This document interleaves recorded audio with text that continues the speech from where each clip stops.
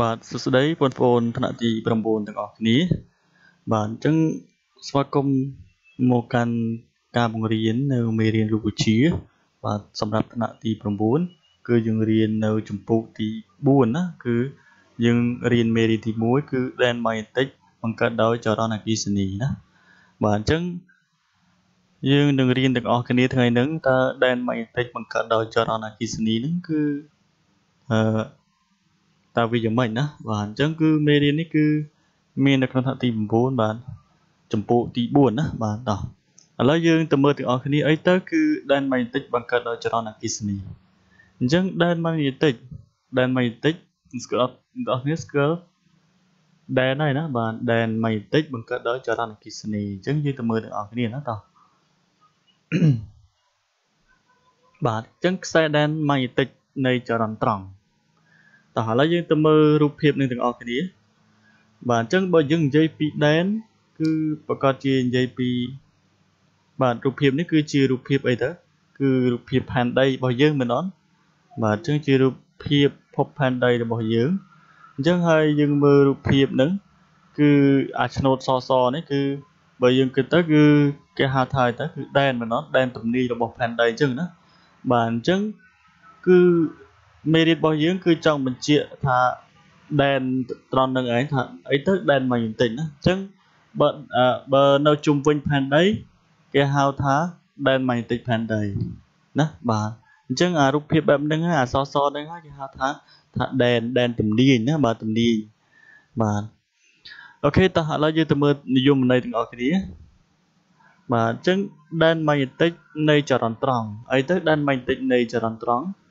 បាទអញ្ចឹងដែនម៉ាញេទិកនៃចរន្តត្រង់គឺជាដែនម៉ាញេទិកមួយដែលត្រូវបានបង្កើតឡើងដោយចរន្តអគ្គិសនីបាទអញ្ចឹងងាយឆ្លើយទេអ្នកនរគ្នាបាទដែនម៉ាញេទិកនៃចរន្តត្រង់គឺជាដែនម៉ាញេទិកមួយដែលត្រូវបានបង្កើតឡើងដោយចរន្តអគ្គិសនីចុះបើសិនសួរថាដែនម៉ាញេទិកនៃភពផែនដីគឺជាទៅ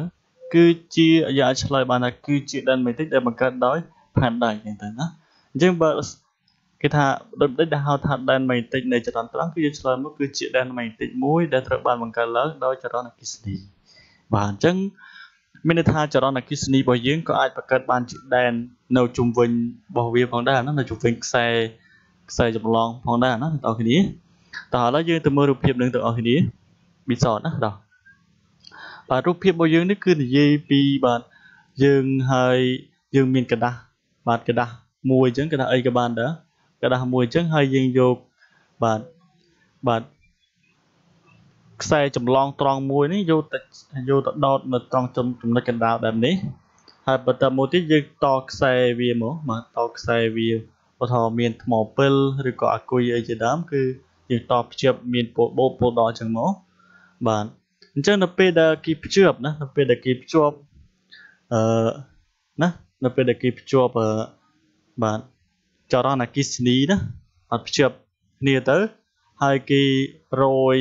អាទុយទូចទម្លាក់នេះហើយគេតម្រយរយកំតិចដែកនេះចុះមកក្រោមចុះមកលើกระดาษរបស់យើងមកបាទគេសង្កេតឃើញថាបាទកំតិចដែករបស់យើងនេះគឺវានឹងតម្រៀបគ្នាជាជួរណាបាទវានឹងតម្រៀបគ្នាជាជួរបាទរៀបជារង្វង់ណាបាទតម្រៀបគ្នាជាជួរហើយរៀបជារង្វង់ទៀតណា នៅជុំវិញខ្សែចម្លងត្រង់របស់យើងនឹងណាបាទអញ្ចឹងត្រង់នេះចង់បញ្ជាក់ថាមិនដែរអញ្ចឹងមកថាខ្សែដែនម៉ាញេទិកនៃចរន្តត្រង់គឺវាកើតឡើងនៅជុំវិញបាទនៅជុំវិញខ្សែចម្លងនៅខ្សែចម្លងនឹងណាបាទគឺកើតនៅជុំវិញខ្សែចម្លងនឹងគឺរាងជារង្វង់ដែលមានផ្ចិតអីគេដែលមានផ្ចិតនៅនៅត្រង់ចំណុចកណ្ដាលនៃចរន្តត្រង់ហ្នឹងណាខ្សែត្រង់ហ្នឹងណាបាទ បាទអញ្ចឹងមើលថាគឺរៀបវាជារង្វង់បែបហ្នឹងនៅពេលដែលគេដាក់កំទេចដែនហ្នឹងគឺបញ្ជាក់ថាអឺខ្សែដែនខ្សែដែនម៉ាញេទិកដែលកើតឡើងនៅជុំវិញខ្សែចរន្តត្រង់នេះគឺមានវាមានរាងជារង្វង់ណាបាទអញ្ចឹងគេពិសោធន៍របស់យើងគឺពិសោធន៍បែបហ្នឹងណាបងប្អូនគ្នាអាចរៀនពិសោធន៍បានដោយខ្លួនឯងណាបើមានឧបករណ៍គ្រប់គ្រាន់ណាបាទតោះឥឡូវយើងទៅមើលរូបភាពមួយទៀតបាទតោះមើលរូបភាពនឹងទាំងអស់គ្នា បាទអញ្ចឹងមើលថាខ្សែដែនម៉ាញ់ទិកបង្កើតដោយចរន្តត្រង់គឺវាមានរាងជាគេនេះរាងជាអីមិញ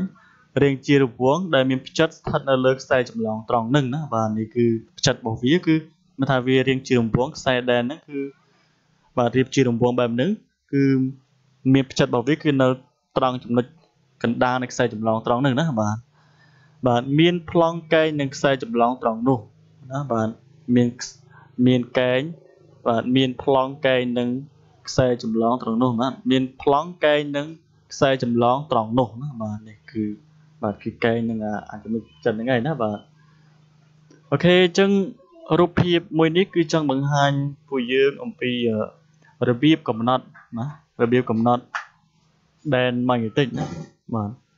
របៀបកំណត់ដែនម៉ាញ់ណេទិក អញ្ចឹងមានតែថាត្រង់នេះបើសិនជាយើង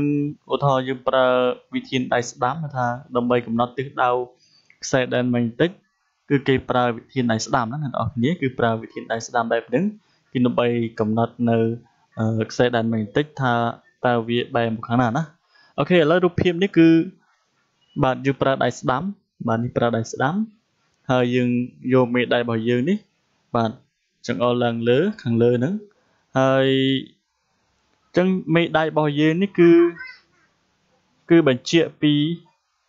ពីចរន្តណាពីចរន្តរត់កាត់ពីបូកទៅដកណានៅលើខ្សែចម្លងត្រង់ហ្នឹងណាបាទអញ្ចឹងយើងអាចថាមេដៃរបស់យើងគឺជាខ្សែចម្លងត្រង់ហើយចរន្តឆ្លងកាត់ពីបូកទៅដកនៅលើមេដៃរបស់យើងអញ្ចឹងហើយម្រាមដៃរបស់យើងនេះបង្ហាញពីទិសដៅ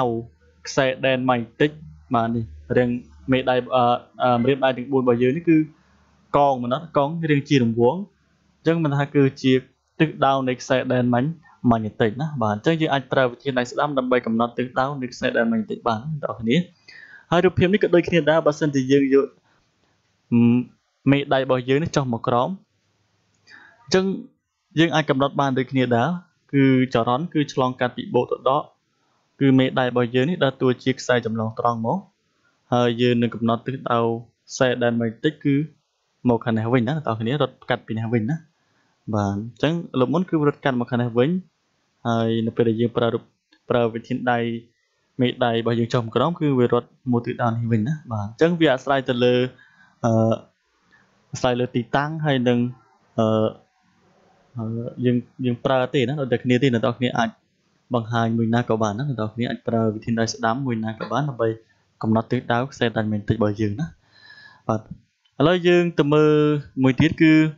បាទគេថាខ្សែដែនដែនម៉ាញ់ទិកជុំវិញខ្សែចម្លងត្រង់កាន់តែខ្លាំងកាលណាវានៅកាន់តែជិតខ្សែចម្លងណាបាទហើយខ្សែចម្លងឆ្លងកាត់ដោយអង្គទឹងស៊ីតេចរន្តកាន់តែធំអញ្ចឹងមកថាដែនម៉ាញេទិកដែលបង្កើតដោយចរន្តត្រង់នោះវាមានកម្លាំងកាន់តែខ្លាំងឬកាន់តែធំហើយកាន់តែខ្លាំងដែលអាចឆក់ទាញបានអញ្ចឹងកាលណាវានៅកាន់តែជិត ខ្សែចម្លងទៅយើងអាចដឹងថាវាឆក់កាន់តែខ្លាំងណាបាទហើយមួយទៀតគឺខ្សែចម្លងត្រង់គឺឆ្លងកាត់ដោយអង្គតស៊ីតេចម្លងកាន់តែធំអញ្ចឹងកាលណា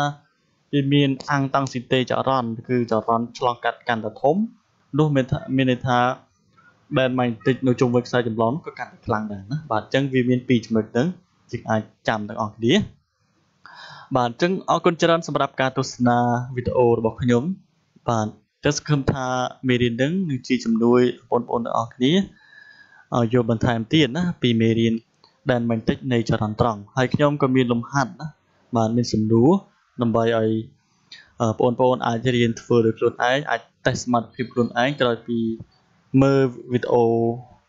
បាទនឹងចប់អ្នកនរគ្នាអាចគាត់ជាអាចឆ្លើយសំណួរនឹងបានខ្លួនឯងបានហើយណាបាទខ្ញុំជឿជាក់ថាអញ្ចឹងណា បាទអញ្ចឹងក៏សូមអរគុណច្រើនសម្រាប់ការទស្សនាវីដេអូនេះតាំងពីដើមរហូតដល់ចប់ហើយជាចុងក្រោយក៏សូមអរគុណហើយជួយ like ហើយជួយ share នៅហើយនឹង subscribe នៅ channel របស់ខ្ញុំផងដែរណាបាទសូមអរគុណច្រើន